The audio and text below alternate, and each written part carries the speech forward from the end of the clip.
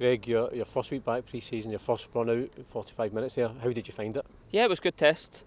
Um, we've had a hard week's training, a lot of uh, miles in the legs, so um, it was you're going into the game tired. But I think uh, both teams and both half uh, played the game at good intensity, so uh, I'm sure the boys and the manager will be pleased.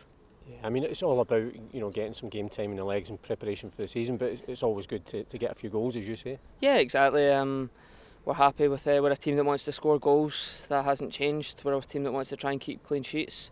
So uh, we'll be building that in pre-season. But right now it's just about getting the work in more than results. Yeah, I mean when you say getting the work in, we've watched you all week in, in this heat, and it's been really impressive to see. Yeah, I think um, the boys, every single body has uh, tried to impress, has gave their all, and um, I hope that we uh, continue that into Japan because there's more hard work there to come. Yeah, and as you know, you know from your experience, it is all about getting laying those foundations for what we hope is a, another successful season. Yeah, I think um, getting a full pre-season under your belt, there's nothing more uh, important for a footballer.